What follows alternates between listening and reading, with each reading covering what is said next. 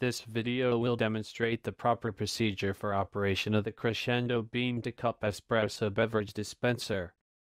Place a cup on the drip tray beneath the dispense nozzle. Select size in the area marked 1 of the control panel. Select beverage in the area marked 2 of the control panel. LED indicators will illuminate when button has been selected.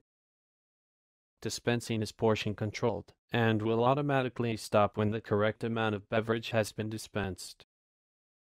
Pressing any dispense button during dispensing will stop the dispense sequence. Remove cup after the dispense has been completed and enjoy.